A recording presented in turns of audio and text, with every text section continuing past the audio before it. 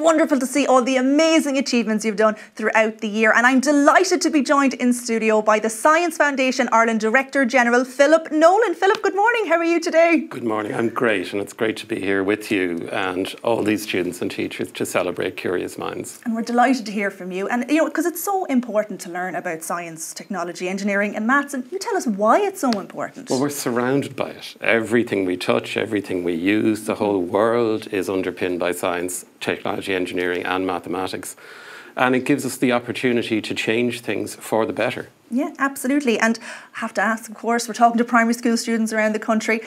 Did you have a curious mind when you were a kid in school? I was a complete nerd in school, and I was really, really lucky because I had the encouragement of teachers in secondary school, in particular, um, mm. in, um, in science and then in physics.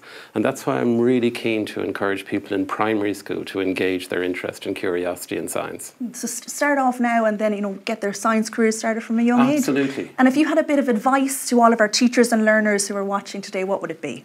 I think the big thing is to be brave, to yeah. really embrace that curiosity, to throw yourself into it and see what you can find out and figure out for yourself. That's my advice to the students, to really get in there and try and figure things out.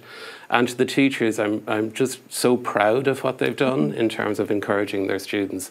And then we're here to help too. So the Curious Minds program is there to provide resources to teachers to foster that curiosity in their students. Absolutely. And it's, it's a program there to get stuck in and learn about it from the ground. Well, listen, Absolutely. Philip, thank you so much for joining us today. It was great to talk to you.